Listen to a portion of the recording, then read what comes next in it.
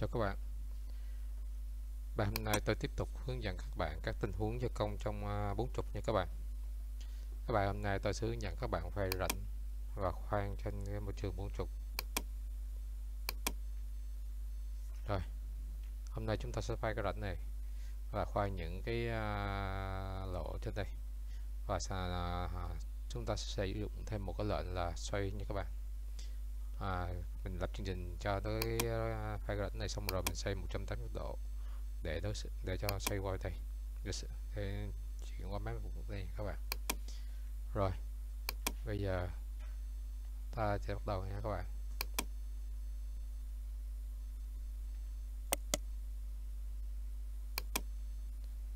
Thì uh,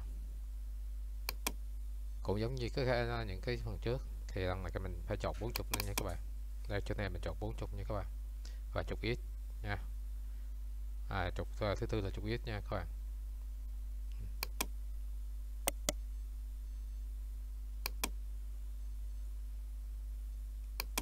Rồi mình chọn cái 5x này các bạn.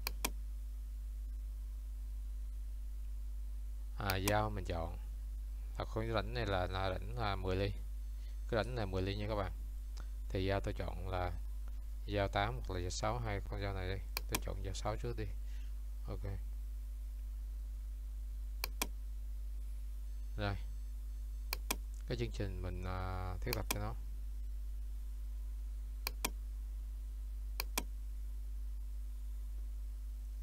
Ở trong đây mình chọn cách chạy là keyword nha các bạn. Rồi cái, cái uh, mình sẽ chọn cái công tô cho nó. cái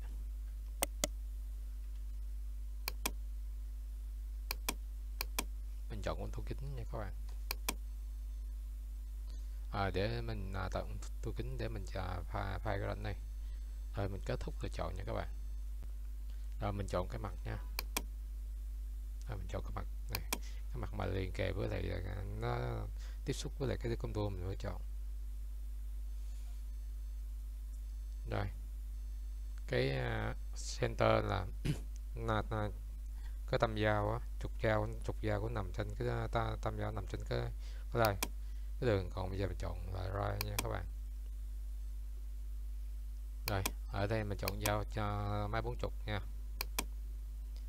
À, và mình chọn cái trục là trục ít, trục thứ tư là trục ít. à, mình chọn tất cả đều ờ, vuông góc của tâm nha các bạn. Hướng tâm hết nha. Rồi tiếp tục là mình chọn cái uh, cách kiểm tra nha. À, ở đây mình chọn kiểm tra luôn cán ở trong môi trường à, phay à, bốn chục trở lên đó rồi mình nên để an toàn cho nên mình phải chọn tất cả những cái thành phần này của dao. Rồi những cái này à, chọn mặt kiểm tra. À ta chọn mặt trên này. Rồi. Các bạn muốn chọn theo những cái thằng này để cho nó an toàn thì các bạn cứ chọn. Rồi.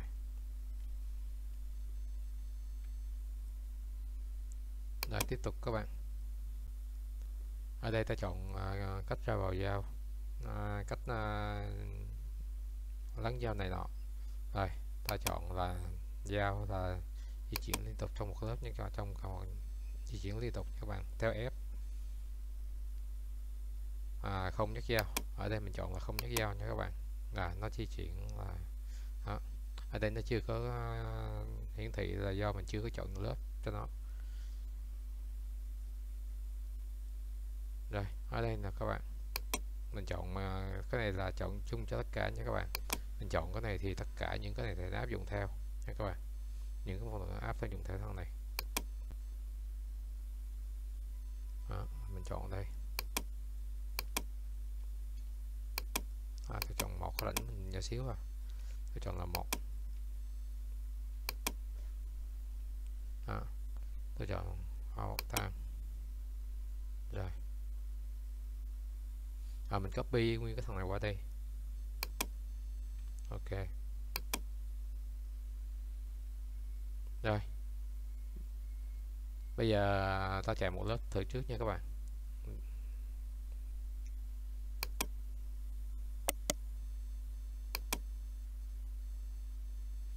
Đó. À, mình chọn right. À, nó chạy bên ngoài cái cái thằng này. Nha các bạn nó chạy bên ngoài thằng này. Đó nó chạy bên ngoài nhưng mà mình sẽ ờ, sửa lại. À, mình chọn là left nha. À, chạy hướng hướng tay trái của mình đó. À, hướng này nó chạy theo hướng này nè bạn thì nó chạy tay trái chạy bên trong này. Ok.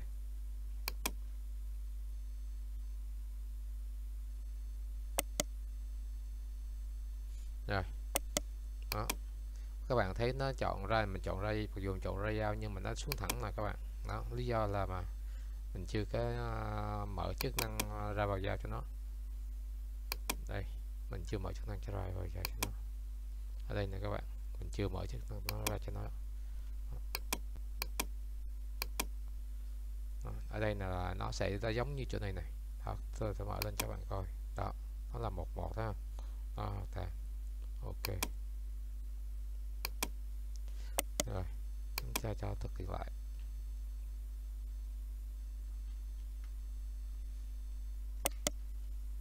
Đó.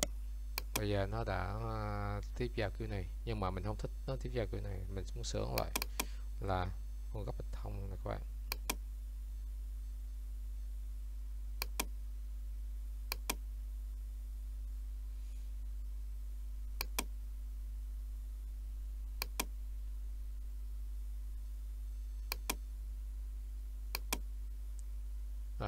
bây giờ mình muốn cho nó uh, tiếp giao kiểu này. Để tôi coi.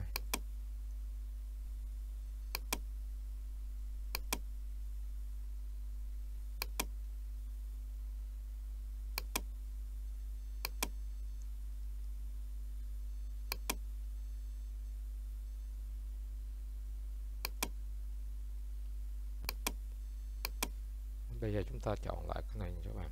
Ta chọn bên đây. Và ta đã copy nó qua đây tất cả. Rồi, ok. Đây, chúng ta sẽ coi nó thay đổi như thế nào nha các bạn.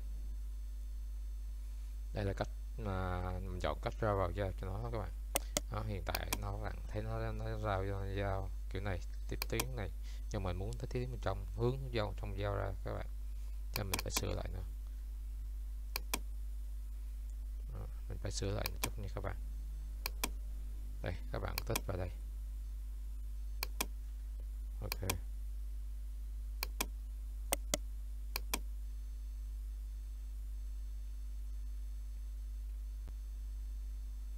Rồi.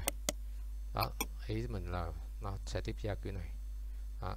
và nó đã tiếp theo cái này rồi. Và bây giờ mình cho nó ăn từ trên ăn xuống dưới nha các bạn. Nha, bây giờ mình cho nó ăn từ trên ăn xuống xuống.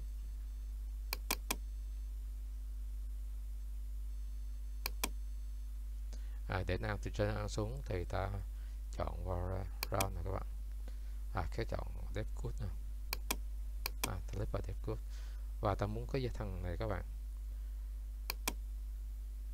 Cái thằng này nè. Nó dày 10 ly. Nó dây là 10 ly. Đây nó 10 ly nha các bạn. Đó, nó là 10 ly. Cho nên tôi muốn chạy nó là, ví dụ như tôi chạy nó là 11 lớp lớp 11 lớp lớp 1 ly nha, lớp 1 ly, cái này tôi chạy thử cho các bạn.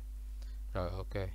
À tôi cho nó ram nữa luôn các bạn. À chưa ram thì tôi cho nó trước. Rồi, ok. Rồi, ở đây là tôi chọn là, phải là chọn trừ trừ 11 và bây giờ là chưa, tôi chưa có trừ đã rồi tôi cho nó chạy luôn chỗ này.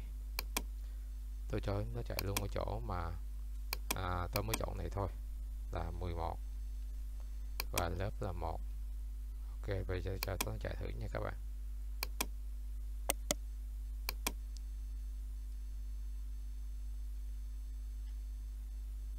Đó nó sẽ là như vậy. À, nó sẽ là như vậy. Nhưng bây giờ tôi cho nó lại. ta sửa nó lại nha các bạn. À, ta chọn bên đây. Và ta chọn là trừ 11 ở đây. Ok. Rồi tôi sẽ cho nó trả lại. Rồi bây giờ nó đã đi à, nó đã qua lại rồi các bạn. Và hồi nãy các bạn nó xuống thẳng nó xuống thẳng chứ không có lắng dết nha các bạn nó xuống thẳng. Và và ta chờ ta muốn cho nó lắng Z nha. Bây giờ ta muốn cho nó lắng Z bây giờ nó xuống thẳng rồi. À, tôi xây lại cho các bạn coi. Nó xuống thẳng nó không có lắng Z nó nó xuống thẳng nó không có lắng Z bây giờ ta muốn nó lắng Z nha.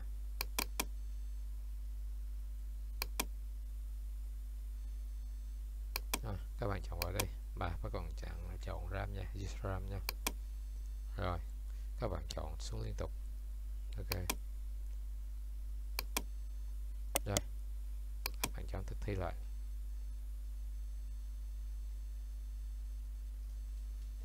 Rồi. Nó đã. À, các bạn thấy nó lắng dết nào? À, nó lắng dết liên tục. À, nó lắng dết nha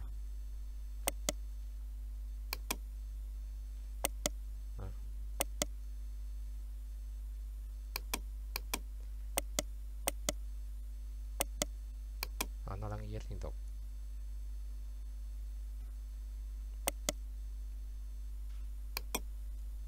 để tôi cho nó chạy cho các bạn coi nha. Cho chạy một thử cho các bạn coi.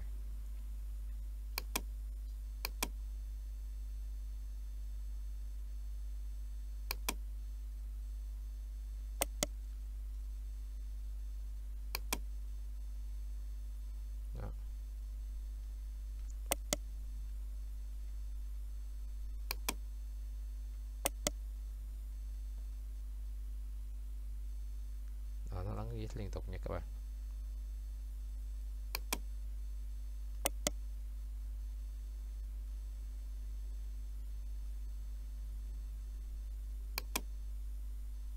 Rồi à, các bạn coi cho chọn điểm ra vào giao của nó nha.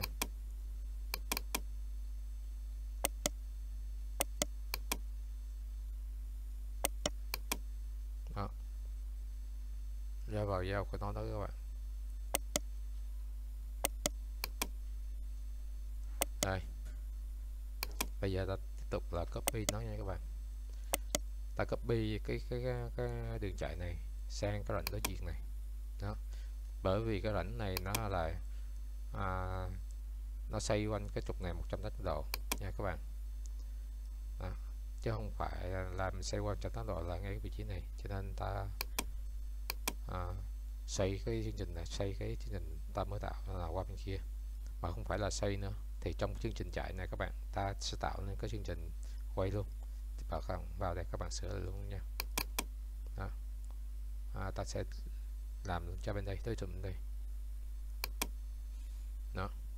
Thì các bạn vào chỗ trong cái à, uh, này à, các bạn là chọn thêm cái chức năng là cabin này các bạn rồi. Các bạn chọn thêm chức năng xoay nha. Ở đây là xoay quanh trục ít nha các bạn xoay quanh trục x rồi có số lượng xoay nha các bạn là hai. Và cái góc xoay nha các bạn. Góc xoay từ ban đầu đến cái ờ, góc là 180 độ. Mình xoay góc 180 độ nha các bạn. Rồi. Ok xong. À, rồi những cái này thì tôi trả giải xong rồi tôi sẽ tiếp tục lý do tại sao mình thay đổi nha. Rồi ok là tôi cho nó chạy.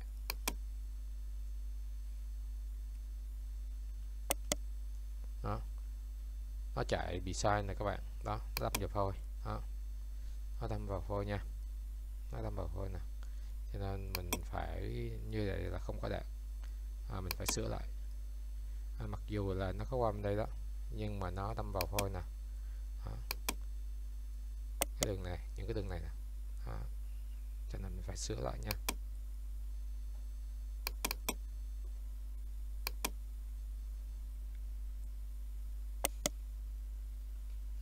Mình vào lại cái chỗ vị trí đó. Này mình chọn ở đây là các bạn. Ở đây mình chọn là à, chạy cái rãnh nào dứt điểm rãnh đó. Hiện tại nó chạy cái rãnh này một bát nó qua rãnh này. Nó, à, nó quay từ từ. À, ta chọn chức năng là chạy dứt điểm một rãnh xong rồi mới qua rãnh khác nha. À, rồi.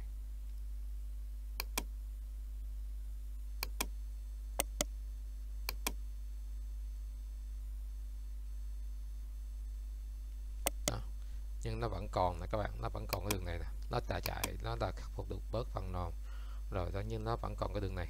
Đây cái đường này nè. Cái đường đâm dao này nè các bạn. Đó, nó còn cái đường đâm dao này. À, để tôi cho các bạn coi. Đó, cái đường đâm dao này nha. Nó sẽ đâm dao xuống đây nè. Đó đó. Đó là không có đạt này nha các bạn. Không có đạt là không có đạt cho nên mình phải sửa lại nữa nha. Ta tiếp tục sửa. À, các bạn lại vào là trong đây. Nha. Rồi các bạn à, chọn dùm tôi cái à, năng này là đây là các bạn. Các bạn chọn này là xây nha xây nha. Nó dở lên và bạn nó xây nha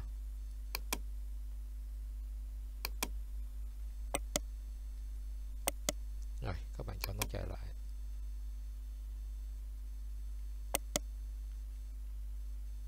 Đây bây giờ nó đã ờ, nhắc lên rồi. À, nó đã thoát ra ngoài rồi. Nhưng mà cái đường dao này là các bạn cái đường này nó lại là à, không có được. Cho nên mình muốn cho nó xây tròn đều quanh cái này. Thì các bạn. À, để tôi à, coi coi nó dao nó như thế nào dao nó đi sao. Nha mặc dù là nó ra dao rồi nó sẽ chạy này các bạn nó né dao nó như né phôi rồi nha. Nó đã né phôi rồi. Nhưng mà nó lại à, chạy theo cái kiểu này. À, là không có được nha các bạn. Hoàn toàn nó không có dướng phôi nhưng mà không có được cho nên mình phải sửa lại nữa. À, mình sẽ sửa lại.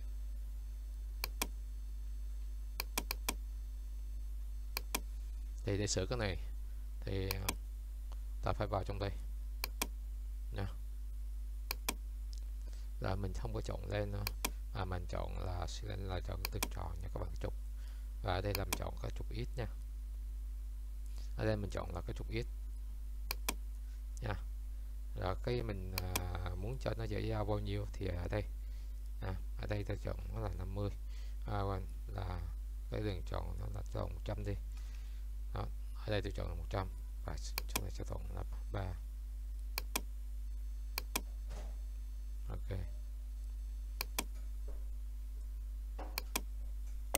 Rồi.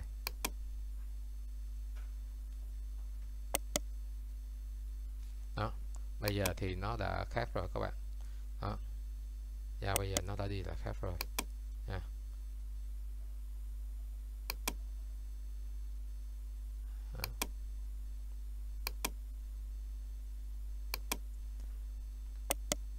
Đó, bây giờ nó đã khác rồi nha các bạn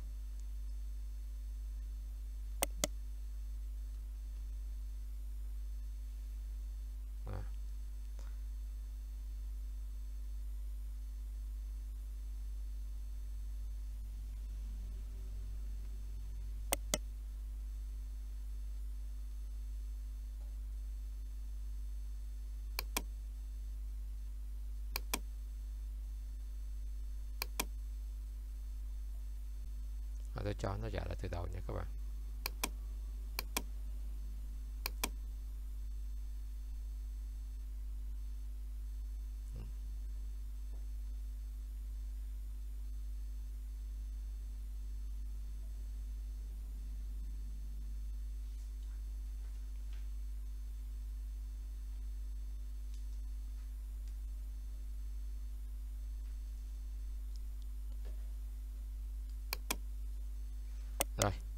Cái chương trình uh, tương tự. Nếu mà ta muốn là nó di chuyển qua ba điểm á, thì ta hơi ờ, mình sẽ chọn 3 điểm.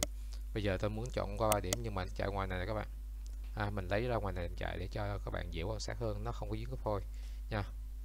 Tôi uh, muốn cho các bạn à, tôi lấy cái đường chạy dao này nè. Nằm ở ngoài này không có dính phôi để cho các bạn dễ quan sát nha.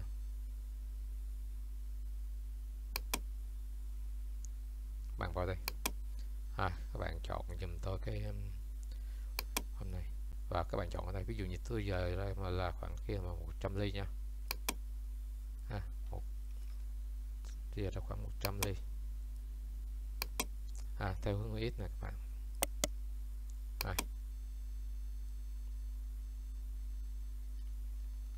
Đó. cái đường chạy nó sẽ di chuyển ra ngoài 100 ly. Đó. Bây giờ, hồi nãy là tôi copy là hai lần, hai vị trí. Bây giờ tôi muốn copy nó ba vị trí nha các bạn. Tôi muốn xây nó ba vị trí cho các bạn dễ coi nha.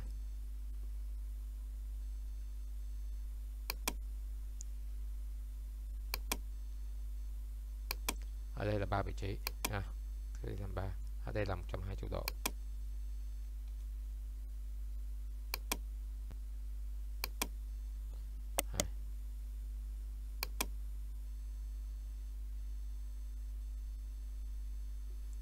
Các bạn.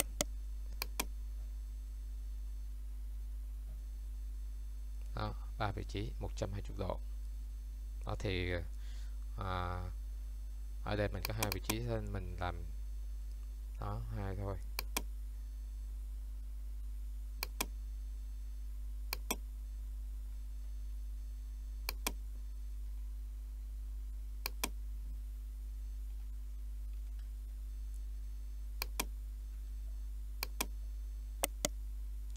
À, tôi giờ nó vô lại luôn các bạn. Tôi trả nó lại vị trí ban đầu luôn.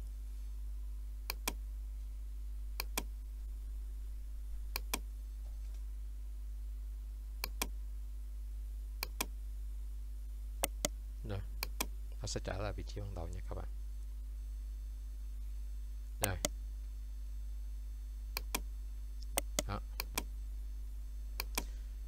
Bây giờ mình tiến hành làm cái à, chức năng khoan mấy cái lỗ này nha các bạn.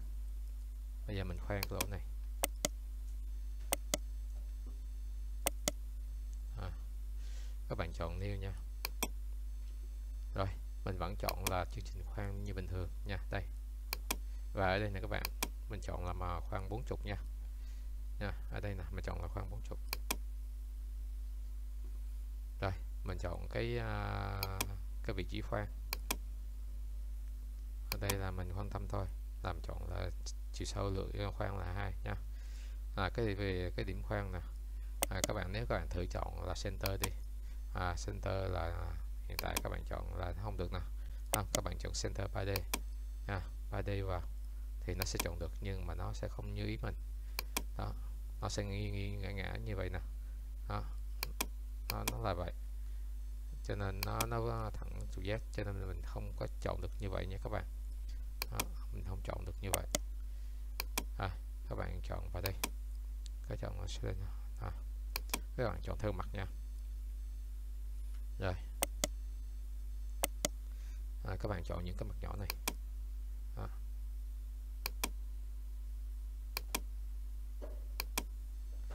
Đó, các bạn chọn những mặt nhỏ này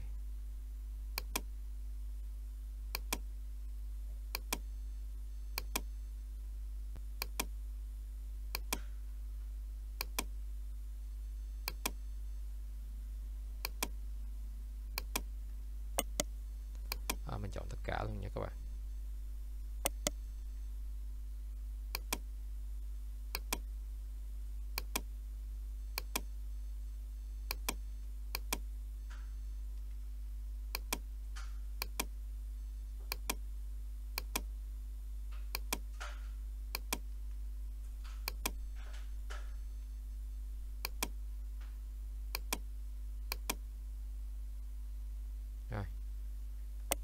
mình đã chọn tất cả những cái lỗ mình cần khoan. Đây. Rồi đây mình chọn tất cả những cái lỗ cần khoan rồi.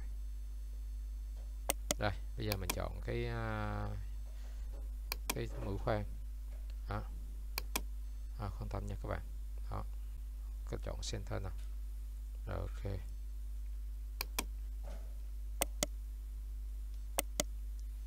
Rồi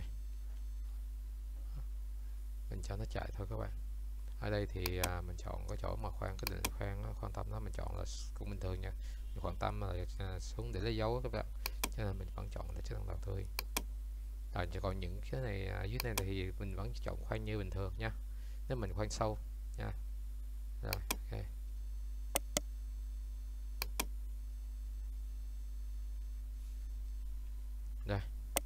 nó đã khoan rồi nhưng cái chiều nhấc dao này nó hơi cao nè các bạn. Các bạn vào đây các bạn sửa lại. À, nó nhấc dao cao quá thì mình sửa lại. Mình chọn nó là bây giờ tôi chọn chọn nó là 10 ly thôi. Nó dở lên 10 ly rồi nó di chuyển nha các bạn. Rồi.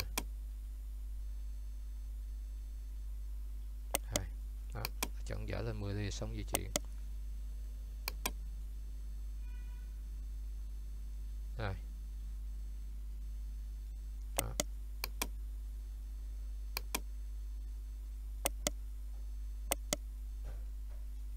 rồi cái bài hôm nay à, tôi hướng dẫn các bạn đến đây là kết thúc nha các bạn. Rồi à, chào tạm biệt các bạn và hẹn gặp lại các bạn trong những cái uh, bài sau. Rồi bye các bạn.